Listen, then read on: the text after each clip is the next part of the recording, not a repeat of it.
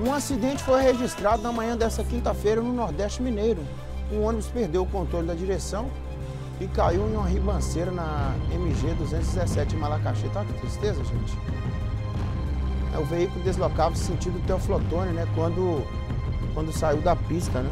Segundo as informações, duas pessoas ficaram feridas e até o momento nenhuma morte foi registrada. É, vamos torcer para que não, não realmente registre nenhuma morte, né? A polícia militar já está no local, né? Tristeza, né, gente? Cai na ribanceira, perde o controle e vai embora mesmo. É. Aí é só perícia para apontar o que aconteceu, né?